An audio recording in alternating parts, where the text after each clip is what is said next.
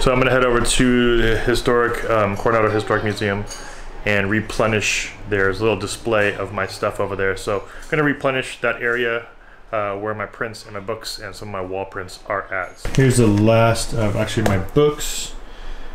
Not the last of all my books. I actually have about, I don't know, one box left.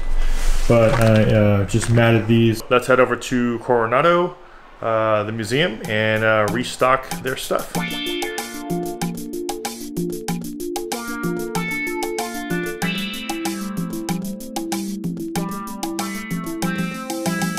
Just got to the museum right now and just dropped off my stuff here.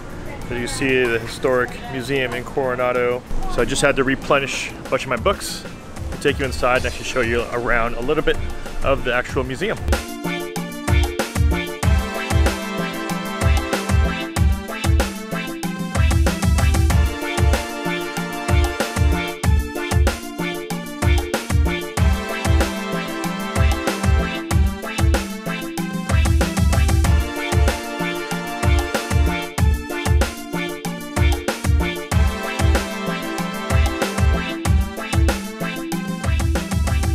So here's one of the walls where my large format prints are hung at the moment. It's right when you enter the museum. There's also going to be a back wall where they're to be putting some of my bigger prints, and that's where they have the TV and they show the history of Coronado.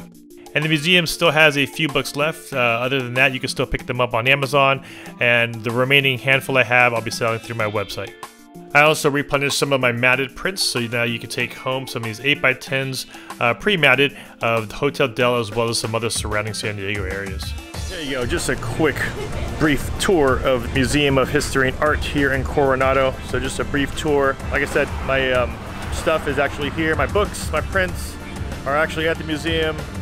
Still very, very stoked that they're here. If you guys haven't seen some of my previous videos, I've actually posted a bunch of other videos about this and having my photos here at the museum. So make sure you check that out. I'll link it up above as well as down below. So that's about it for replenishing. Thanks for coming along with me. See you in the next one. Peace.